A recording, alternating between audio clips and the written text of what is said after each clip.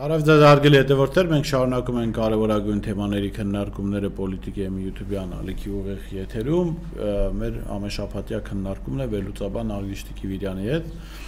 Շաբաթը բավական հագեցած էր, ես ձեզ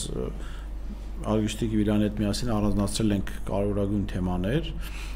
Սրանք առաջին հայացքից կարող են թվալ թե շաբաթվա սկանդալային թեմաներն են, բայց իրականում իմ խորին համոզմամբ կարծում եմ դու էլ կիսես այդ կարծիքը արգիշտի, որ սրանք նաև մեր հանրային պետական կարևորագույն խնդիրները ջրի երես հանող հայտարարություններ եւ գործողություններն են թեմաները, որը այսօր քննարկելու ենք, գլխավոր շտաբետի հայտարարությունն է, խոսելու ենք Ադրբեջանի նախագահի վերջին հայտարարության եւ Թուրքիայի քաղաքական շրջանակներից հնչեցված հայտարարությունների մասին, խոսելու են կաթողիկոսի հետ տեղի ունեցածի մասին Սարդարապատում եւ իհարկե շարժման մասին ենք խոսելու։ Առաջինը կուզեի խոսենք գլխավոր շտաբետի արած հայտարարության մասին։ Եթե թեմաների վերաբերյալ ասելիք ունես, խնդրեմ ասա եւ շտաբետի խոսքը լսենք եւ նոր շարունակենք։ Չէ, հերթով անցնենք։ Խնդրեմ, այս բան դիտենք գլխավոր շտաբետի վերջին հայտարարությունը եւ շարունակենք մեր քննարկումը ասել արդեն Կիրանցի հատվածում հա կանոնավոր բանակը դուրս եկել է թե ոչ եւ սահմանապանները տեղակայվել են ամբողջությամբ ով է ծառայություն իրականացնում Ծառայությունը իրականացնում են սահմանապահ զորքերը, զինված ուժերն էլ իրենց նախորոշված հատվածներում կատարում են իրենց խնդիրները։ Բայց զբաղեցրած դիրքերից դուրս են եկել արդեն։ Այդ հարցերը մի ուղղեք, զբաղեցրած դիրքերից զինված ուժերը դուրս չեն գալիս։ Այսինքն այն հատվածները, որոնք որ անցել են Ադրբեջանի վերահսկողության տակ, այդտեղ դիրքեր չեն ունեցել դուք արդեն հարցերը ինձ շտիպում եք, որ เป զի ես ասեմ, որ դուք մի ուղեք այդ հարցերը ինձ։ Որ այնտեղ կա սահման, սահման, որտեղ որոշվում են հանրապետության, պետության, տրյալ երկրի սահմանները։ Ես ունեմ քարտեզներ, որոնք կոչվում են աշխարհագրական քարտեզներ։ Այդ քարտեզների վրա արտացոլված է սահման։ Իսկ թե այս սահմանի ներսում, դրսում քաղաքացիական անձը կամ իրավաբանական կառույցը ունի համապատասխան հողամաս, տուն, կառույց, շենք, շինություն, տոտալազինված ուժերի գործունեություն։ Անասիրա ներողությունների շոկ ջան։ ժամանակ հայտարարում էիք, որ շրջափակման մեջ են ադրբեջանական զորքերը եւ այդպես սովի եւ հացի այդ պաշարների պատճառով հետ կգնան, ինչ եղավ իրենց։ Երբ որ դուք ուսումնասիրեք եւ հասկանաք զինվորական գործունեություն, շրջափակում, շրջափակումից դուրս գալ, հետապնդում եւ այլ զարգացումներ, այն ժամանակ հարցը կողեք ինձ։ Շնորհակալություն։ Իմաստը խո մենք մասնագիտացված բաներ չենք, փորձագետներ չենք։ Դուք հայտարարություն եք արել, ասում ենք հիմա ինչու այդ զորքերը լավ եմ արել, հայտարարություն եմ արել լավ։ Հիմա ինչու չեն գնացել ներողություն։ Ինչ չեն գնացել։ Ջերմուկից ինչի հետ չեն քաշվել զորքերը։ Դուք անձամբ ձեկ վերցրեք, եկեք իմ կողքը կանեք ու միասին կգնանք։ Այսինքն եթե ես չգամ հարցը լուծում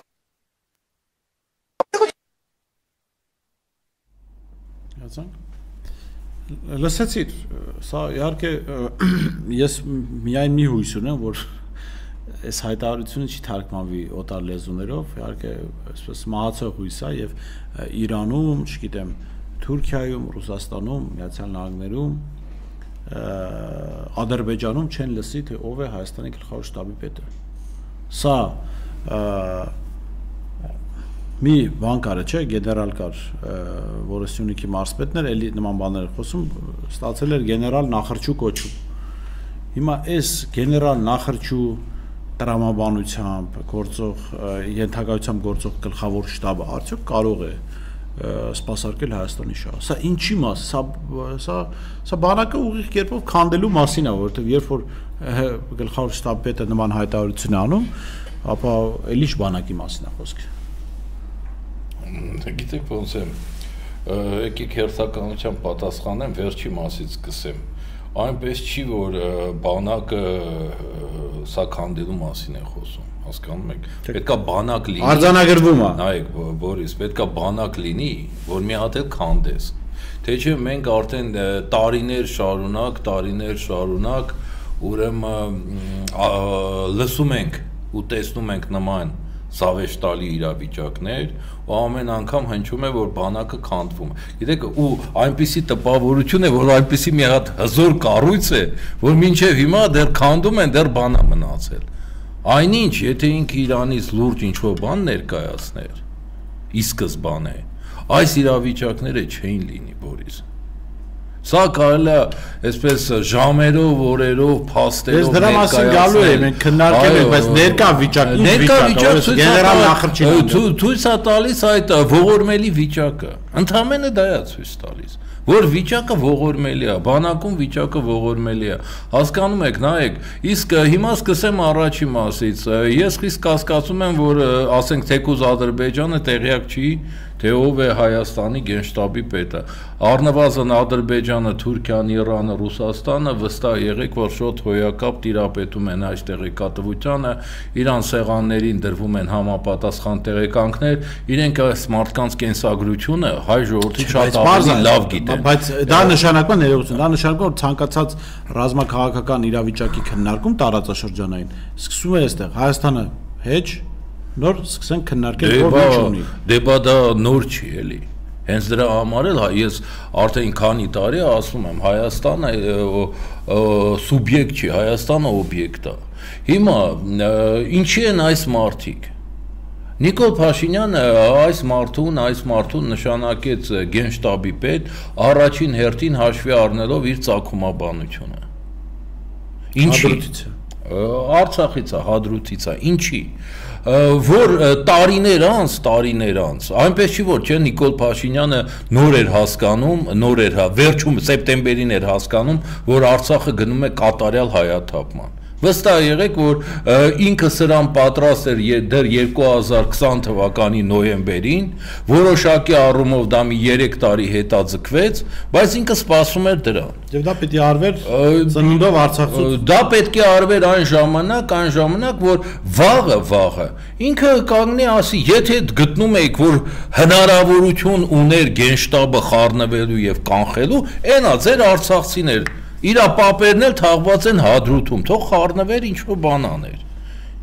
Նիկոլ Փաշինյանը նման բաներ հոյակապ հաշվարկում է եւ օգտագործում է այս մարդկան։ Նայեք, այն պահին հենց որ Արցախի աղետներ տեղի ունենում, առանց առնվազն առանցքային երկու պաշտոններ, երկու պաշտոններ ուրեմն զբաղացնում էին արցախցիներ։ Անվտանգության խորհրդի քարտուղարը, որը բացի նրանից, որ Մարտունեցի է, նաև ազգակցական կապով եւ այլ կապերով կապված էր Արցախյան ռազմաքաղաքական էլիտայի հետ, եւ Արցախ եւ գենշտաբի պետը, այսինքն փաստացի հայկական բանակի ղեկավար, որտեղ բանակը պաշտպանության նախարարը չի ղեկավարում։ Պաշտպանության նախարարը դա այո, դա ամբողջ բազմաթիվ երկրներում է այդպես, այսպես ասում։ Ռուսաստանում էլ է այդպես։ Դրա համար տեսնում եք, պաշտպանության նախարարը Ռուսաստանում են նշանակել։ Նշանակել են տնտեսակետի։ Բանակը պատերազմի վաղ թե խաղաղության ժամանակ ղեկավարում է գենշտաբը Գենշտաբի պետը։ Դրա համար ասենք ինքը պաշտպանության նախարարը դա կոպիտ ասած լուծում է մատակարարման եւ նմանատիպ ադմինիստրատիվ հարցեր, հասկանում եք։ Հիմա ինչ էր նշանակել Արցախում։ Նշանակել էր, որ ասա գնա գնա այսպես ասած հերադիտակով տես թե ոնց են քո հայրենա այսպես ծննդավայրը հայաթափվում եւ լռիր խելոք լռիր Սա է եղել այս մարդուն նշանակման, նշանակման ուրեմն դրթապաճառը։ Հենց որ ինքը նշանակվեց, ես այդ ժամանակ եմ, կարծեմ հարցազրույցում կամ չէ, ստատուս եմ Facebook-ում կարծեմ գրել սոցիալական ծածում, որ սա նշանակում է, որ որը մի բան պետքա տեղի ունենա Արցախում։ Պատահական չի նշանակված այս մարդը։ Այս մարդուն նշանակել են, որ վաղը, վաղը ասում եմ Նիկոլ Փաշինյանը ասի, այնա երկու առանցքային պաշտոն Ընդ որում այսպես ասած ով տեղյակ է տեղյակ է Նիկոլ Փաշինյանի քաղաքական անցուդարձին ինքը ինքը գիտի որ ասենք փաստացի փաստացի այդ մարտունեսի տղան իրականացնում է կարելի ասել արտգործնախարարի գործառույթ Այսինքն այդ պաշտոնը եւ գենշտաբի պետը տվել էին արցախցիներին որ էսա թող խառնվեին, թող փրկեին իրանց հայրենիքը։ Եթե իրանք ձեն չեն հանել, բա ես ինչ անեի, ուրեմն շանս չկար։ Ու Նիկոլ Փաշինյանը նման մշտական կրուտիտ կանի։ Հա։ Հա, սրանով է եղել պայմանավորված։ ու այս իր ու նաև պայմանավորված է ինչով նայեք Նիկոլ Փաշինյանը Նիկոլ Փաշինյանը կազմակերպում է բոլոր այն մարմինները ումից վտանգ էր զգում ինքը բանակից որոշակի առումով վտանգ էր զգում հենց որ եկել էր իշխանության Հավանաբար ոնց որ մեր հակառակորդ ադրբեջանցիք շատ ավելի լավ կարծիքի էր հայկական բանակի մասին, քան այն ներկայացվում էր։ Դե տեղյակ չէր, չէր ծառայել, երևի տեղյակ չէր էլի, ինչա իրականում կատարվում։ Դրա համար այդ բանակից իր մոտ կար վախ։ Ժամանակի ընթացքում, ժամանակի ընթացքում ինքը ինքը հասկացավ, թե իրականում ինչ է ներկայացում հայկական բանակը։ Դրա կուլմինացիան հիշում եք, դա հենց որ բազմաթիվ գեներալներ ստորագրել էին իր հրաժարականը, Եվ որոշ ժամանակ անց ինքը գնաց Գենշտաբ։ Դու նաև Էդվարդ Ասիրյանն էր ստորագրել։ Ուրեմն որոշ ժամանակ անց իրան գնաց Գենշտաբ։ Եվ այն մարդիկ, ովքեր պահանջում էին իրանց հրաժարականը, խելոք շվաբրայի պես կանգնեցին եւ այսպես ասած նայում էին իր դեմքին։ Խելոք այսպես շարքային շարքային բուրատինոների պես։ Վերջ ասма կոմեդիան ավարտվեց հենց այդ պահին վերջնական արդեն բոլորի համար པարզ էր հենց որ բանակը հեղաշրջում փորձում անել ընդհանրապես սահմանափակվելով մի հատ գրավոր պահանջագրով չհասկանալով որ եթե դու ներկայացում ես նման պահանջագիր ու դրանից հետո չես անում կայծակնային արագությամբ երկրորդ, երրորդ, չորրորդ քայլը ընդ որ մի վարքյան Բորիս ավարտեմ միտքս ընդ որում նայեք Բորիս այն երկրներում հենց որ բանակը ուրեմն տեղյակա ընդունակա հեղաշրջում անել պահանջագի կամ չի ընդհանրապես գրավորներ կամ անելուց հետո այո անելուց հետո պատմության դասագրքում գրելու համար որ գիտեք դա ներկայացրել էր չկատարվեց մի հատ հետին ամսաթվով թուղթ է տրվում այդ այդ դասագրքերի համար ամենալավագույն ռազմական հեղաշրջման կադրը անգամ TikTok-ում է հայտնվել ասիական երկրներից մեկում, այս բան չեմ հիշում, որ երկիրը ուրեմն որ ինչ որ մեկը TikTok չէր, Facebook-ում լայվ է մտել, յոգայով է զբաղվում, հետևը գենշտաբն է։ Չէ, հետևը նախագահական պալատն է։ Ուրեմն այդ միջև ինքը յոգայով է զբաղվում, այդ լայվի ժամանակ գենշտաբը գնում, մտնում է նախագահային ձերբակալում, դուրս է գալիս։ Այդ մի 5 րոպեի մեջ գործ անում, դուրս են գալիս։ Բայց հիմա Հիմա տես ես մի տեղեկատվություն եմ ուզում հրապարակել կամ հրապարակային դարձնել, որը ցույց է տալիս, որ բանակ չծառայած շատերի բնորոշմամբ վախկոտ Թույլիկ Նիկոլը շատ ավելի լավ է պատկերացնում գործընթացները եւ շատ ավելի պատրաստ է հանուն իշխանության քայլեր գործադրելու։ Այն ժամանակ, երբ գլխավոր շտաբը անում է այդ հայտարարությունը, Օնիկ Գասպարյանը գերի է մնում Պաշտպանության նախարարության շենքում, որտեղ Նիկոլ Փաշինյանի հրահանգով Ես չգիտեմ այդ շրջափակողները, զինված շրջափակողներ եղել են ԱԱՑ աշխատողներ, թե չէ, բայց ԱԱՑ համազգեստով զինված շրջափակել են գլխավոր պաշտպանության նախարարության շենքը, որտեղ գտնվում է նաև գլխավոր շտաբը։ Եվ այդ մարդը մի քանի օր չի կարողացել շենքից անգամ դուրս գալ։ Եվ Նիկոլ Փաշինյանի հրանգով այդ մարդիկ պատրաստ էին սպանել այդ գեներալներին, եթե նրանք քայլ անեին։ Այստեղ սա այս դրվագը, որը հրաապարական չի դարձել, ցույց է տալիս, թե ինչքան ինչքան լավ է Փաշինյանը պատկերացնում, թե ինչ ինչ է ասել իշխանություն, ինչ է ասել պահել իշխանություն, ինչ է ասել պատրաստ լինել հանուն իշխանության գնալ գործողություններ։ Նայ, Բորիս, արի հերթականությամբ պատասխանեմ, ուրեմն առաջինը, առաջինը, ուրեմն